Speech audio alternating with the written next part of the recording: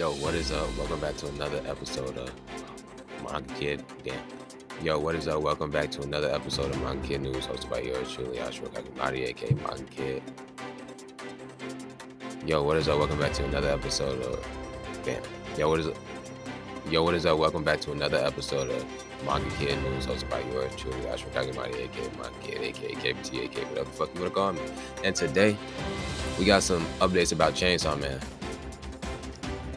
the editor of Chainsaw Man. This is great, especially with like all the breaks going on between um Black Clover, My Hero, One Piece.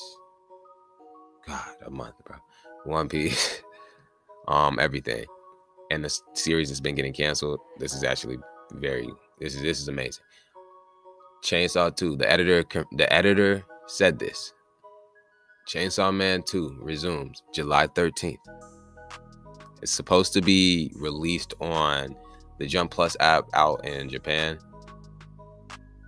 I don't know about here. I assume it just be on the regular Jump app for us. If it happens for us, if it's like just for them, like honestly, we don't care because it's not for us, you know. But bro, I'm happy. I'm excited about Chainsaw Man 2. I love Chainsaw Man 2.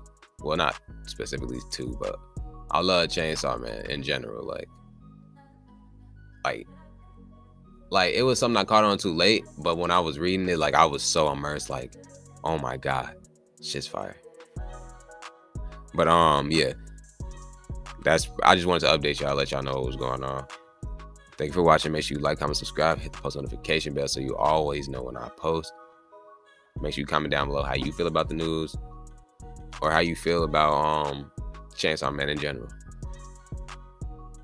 And I'll see y'all later, man. Peace.